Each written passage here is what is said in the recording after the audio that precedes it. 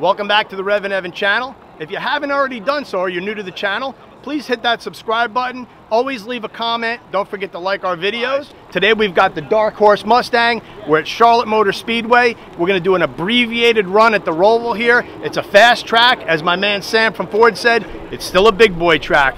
There's concrete. We're going through the banking wide open. It's gonna be a fun ride. We got a whole slew of cars here. We got automatics, we got sticks, we got handling packs, non-handling packs. We're gonna drive them all. I got Abe with me. Then we're gonna take these things out on the road and see how capable they are. Dark Horse Mustang, come along for the ride. All right, we're all clear with the tractor. Uh, we can start up.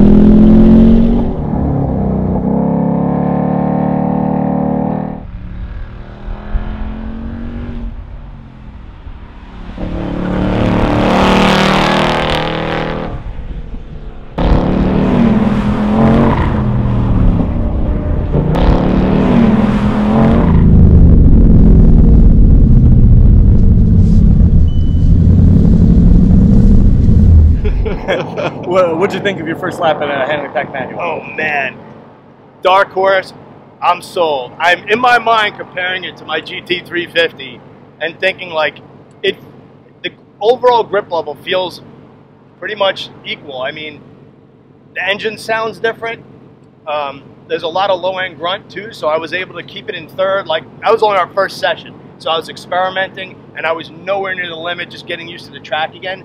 But probably my biggest takeaway is center of corner grip, like the, the ability to roll the power on way earlier than I thought I'd be able to, and just start to unwind the wheel. And the car's not unsettled. It's not trying to understeer. It's not wonky in the back.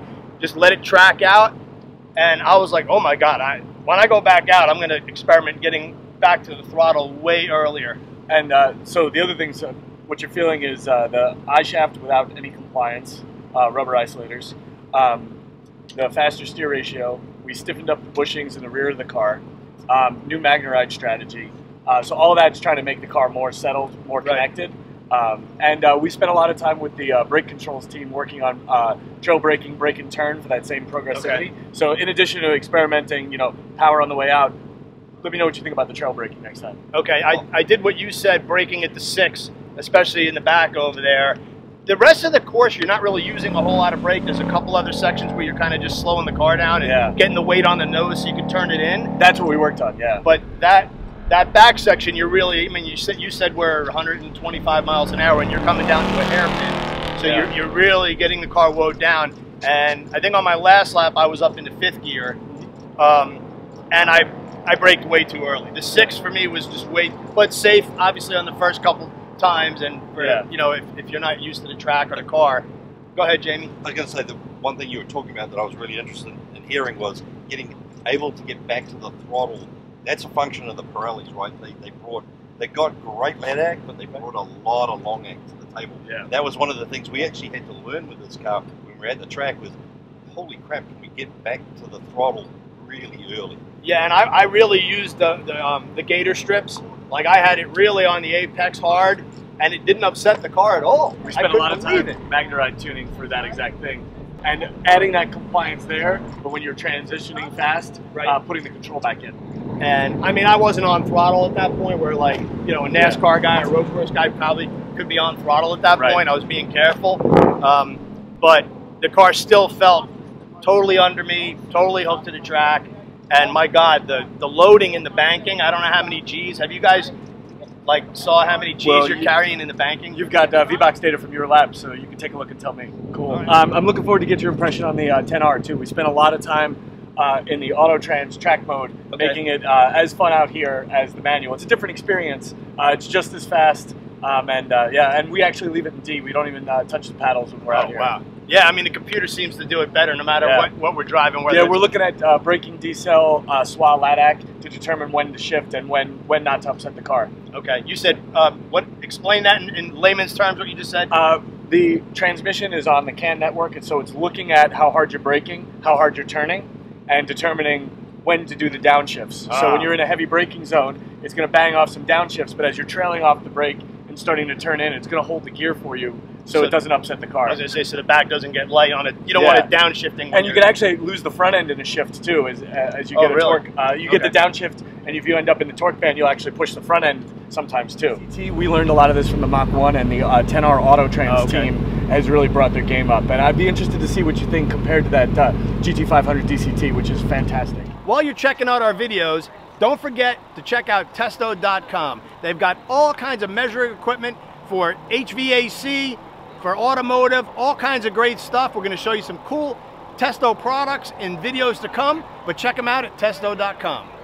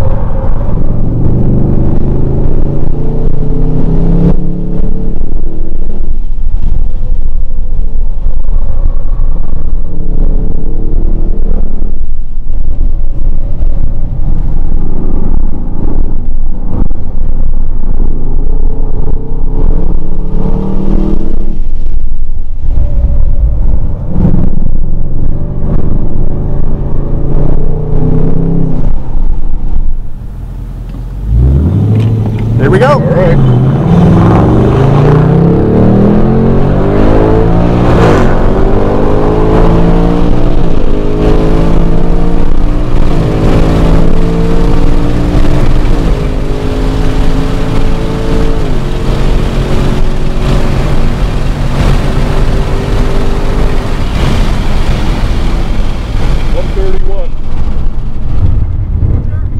and you want to just rotate it and then straighten it out. Straighten it out.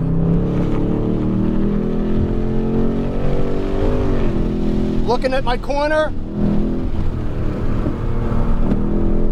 Set, throttle. Set.